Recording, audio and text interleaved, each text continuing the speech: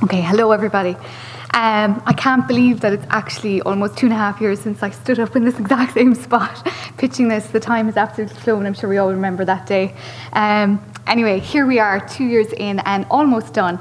So we're going to tell you today about uh, where we are now and uh, what we've achieved.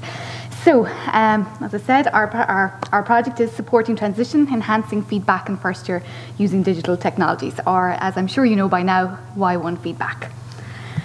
So just to say up front that this is a collaborative project between um, University, Athlone Institute of Technology, DCU and Dundalk Institute of Technology. And together we've been working on technology enhanced uh, feedback approaches for first year over the last uh, two years. So what did we set out to do? So as I said, we wanted to enhance feedback practice in first year, and we wanted to do that by identifying um, feedback approaches that worked for first year, that supported student learning and student transition to higher education, and that after identifying those approaches, that we would develop case studies of those in practice. So, um, how are we going to do that? So this is what we had hoped to achieve, and I'm very glad to say that we have achieved this.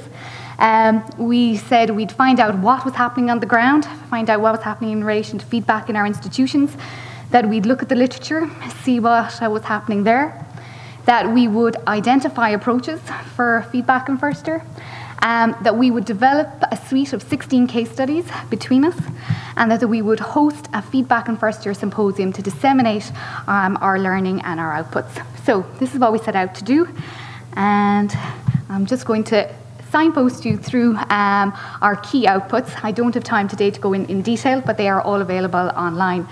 So first and foremost, we have our first publication, which is Feedback in First Year, a Landscape Snapshot.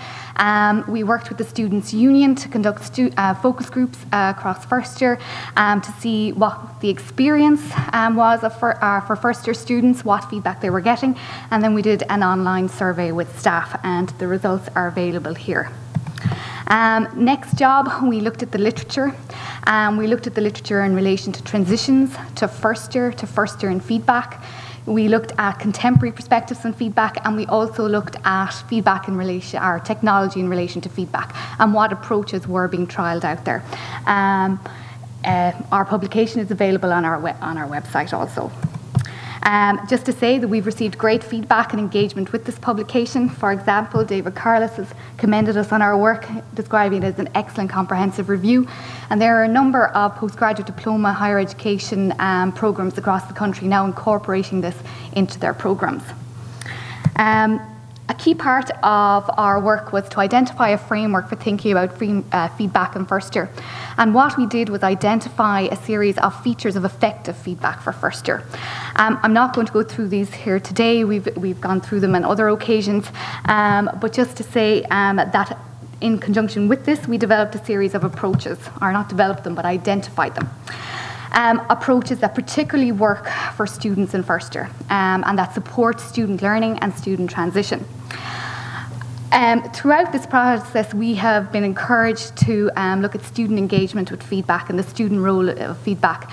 And I'd like to underscore that all these approaches are underpinned by student-led pedagogies, in particularly um, dialogic feedback, um, moving away from the teacher-led approaches um, uh, with feedback, um, where students become active participants in the feedback process, working with peers, but ultimately um, moving towards sustainable feedback, um, supporting and scaffolding students' development as self-regulated learners, learners, and developing their capacity in um, evaluative judgment. And these have been key to all these approaches and all our case studies throughout.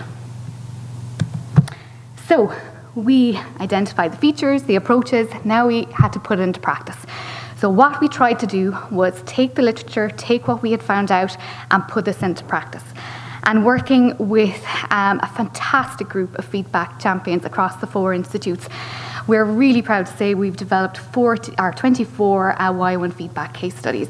These are available all on our website. Um, I suppose I would like to say that on the face of it, these might just look like 24 videos or 24 little reports, but these represent 24 teams of people engaging um, in a holistic way um, about assessment and feedback. We didn't just look at the um, feedback approaches with these champions, we looked at the module, we looked at the teaching, the learning, and the assessment feedback processes in general.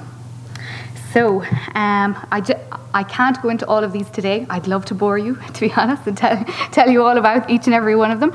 But just to give you a sample, um, just to say each case study includes a three to four minute video um, where the feedback champions describe their uh, challenge, the aim, um, what they did, and how, how, how it went.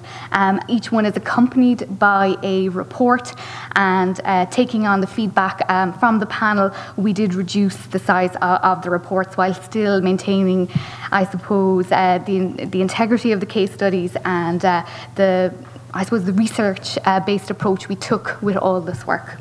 Um, so these are just some examples formative and summative feedback using Moodle Marking Guide, um, flipping feedback uh, with a multi stage assignment. Just to say, each of these approaches or each of these case studies usually didn't concentrate on just one approach, they blended them together to suit the module.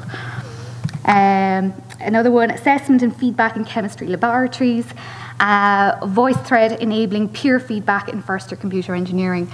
I hope you're getting, just even from the titles of those, the sense of the range of case studies um, involved, the range of uh, disciplines. I think we had over 16 disciplines, 32 academic partners, um, just to uh, illustrate the, the breadth of the case studies. Um, so, this point, it's time for me to be quiet and let's hear from one of the case studies, I think. Okay, so it was really hard to choose one. So we're going to hear, I'm going to say okay.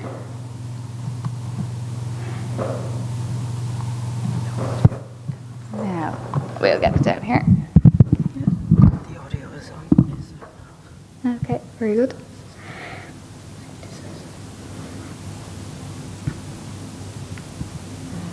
That's fine. Ah, excellent. Okay. Screencast feedback. I decided to move my feedback from the end of the module. Okay, so we're going to give David uh, a chance to tell us. So we'll just move this back. And it's apt that this is an audiovisual uh, challenge when this is an audiovisual case study in, in ways. Okay, so let's hear from David. My name is David Cranny. I'm from the School of Business and Humanities at the Dundalk Institute of Technology. The feedback challenge that I hope to address was trying to get first year students to engage with the feedback that I was providing to them. The feedback approach that I elected to use was using a multi stage assessment using screencast feedback.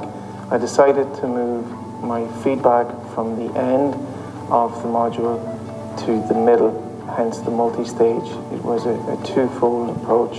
The aim was threefold. Firstly was to explore student engagement with screencast feedback. Secondly, to investigate students' perceptions of receiving feedback via screencast.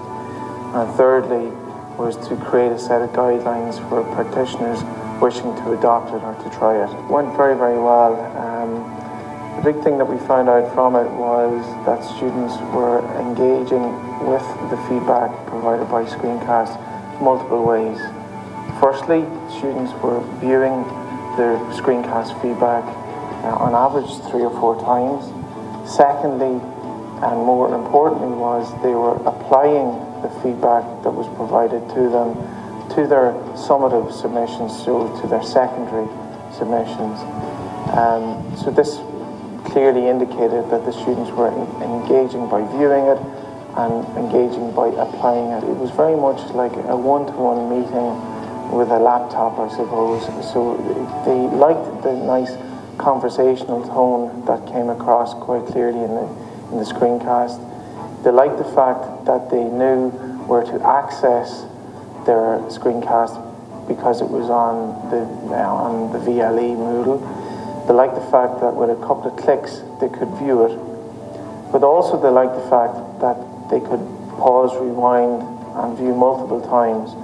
And in, the, in that case, they could apply and make the changes as they were going along. Be yourself. Students aren't uh, expecting you to be a professional broadcaster.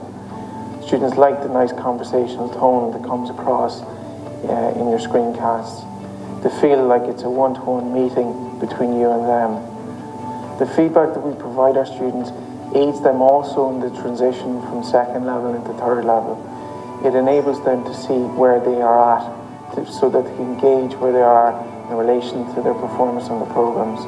Likewise, for lecturers, it provides you with an indication of how your students are performing. So it can enable you to effectively uh, tweak or um, adjust your, your teaching to facilitate further improvement for your students and also for further improvement in your own best practice delivery also.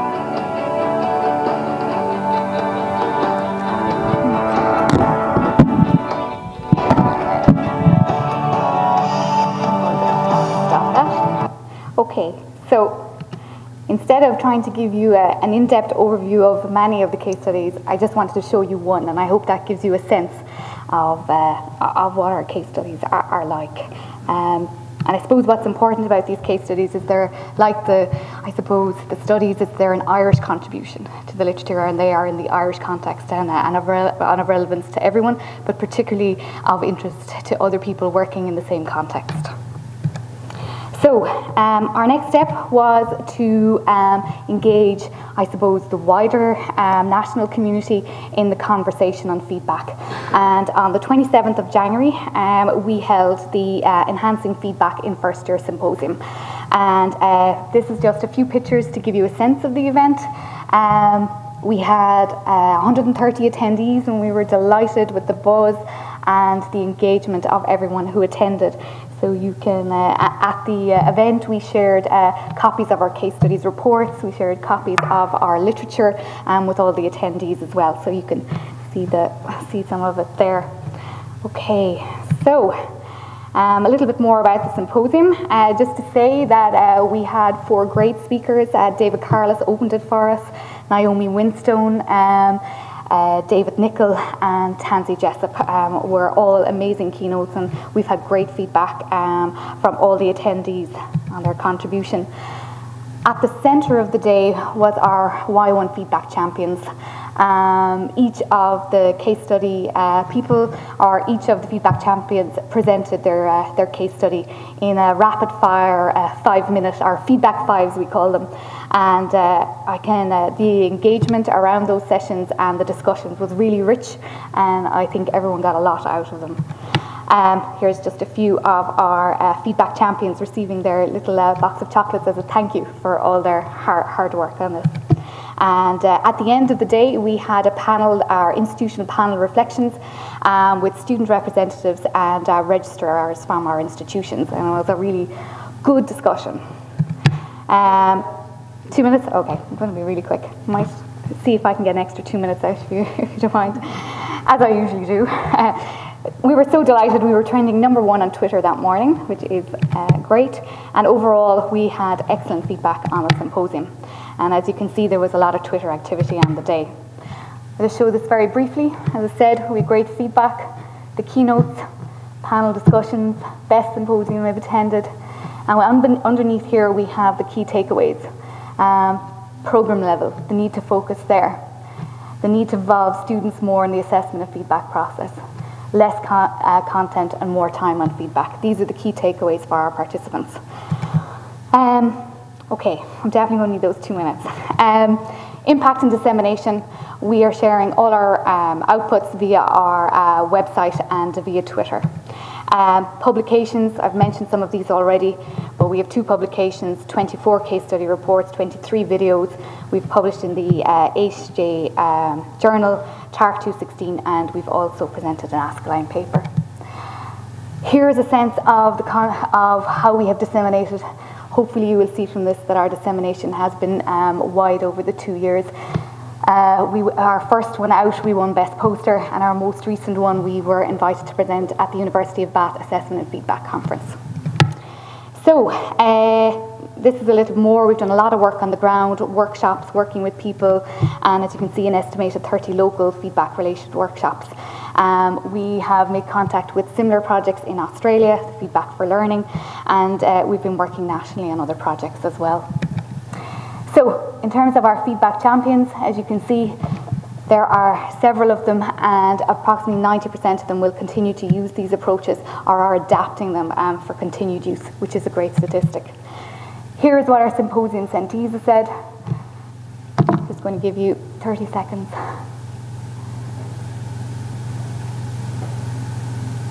What this shows here is people from the symposium actually taking away key ideas and implementing them in practice almost immediately. Someone's going to use screencasting, somebody has already uh, put into practice peer review in their teaching. Um, this is in the space of two weeks. Okay, so we're really delighted with this. The team, I guess, oh, this has been an incredible learning journey for us all, I think. Um, we've developed a number of competencies in relation to feedback, uh, literature review, project management, collaboration, and I think these are all evidenced through our successful partnership, but also on delivering and exceeding um, our project outcomes. And uh, sometimes we look like this, but usually we look like this. okay, so not always done up. Um, I suppose the key thing and how we have evolved is that we did start out focusing on technology. We admit this, but what it has turned out is that we have been focused on approaches and focused on students. And uh, this uh, has been, I suppose, a good thing for, for sure, but uh, definitely a clear evolution, which I hope you will have seen in our work. I suppose as well, a lot of the outputs would have grown a little, which we didn't uh, anticipate, but for, but for the better. Uh, planning for sustainability, the key thing for us now is our case studies are all in completion and it's about communicating them. We will do a Twitter drive, we will do a website drive. We're just uh, in the final stages of working on our website and we're putting in a tagging system so that the, uh, the case studies will be categorized. Um, we've got a number of webinars planned. We are holding another seminar in April.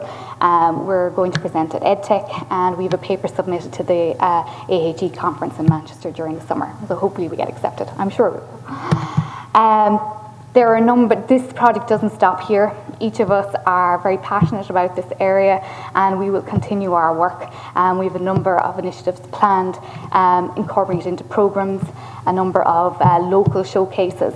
And um, however, we, will, we would definitely uh, welcome a further call to look in detail at programmatic approaches to feedback and student engagement to feedback. So hint, hint, Terry, Sarah. And at last, I'm sure I've gone over, but hopefully you'll be kind as I'm the last one and you were running a little bit uh, ahead of time. I just want to say thank you, um, particularly to the Forum for the funding, for the panel for your feedback, but also to our institutions for uh, their support. And by no means least, uh, our second least, the feedback champions who engaged with us, gave us their time, and were so enthusiastic. So thank you to each and every feedback champion and feedback champion team. Uh, and last, the team. Uh, just to say a big thank you to them. They were absolutely amazing. Uh, so thank you everybody for listening.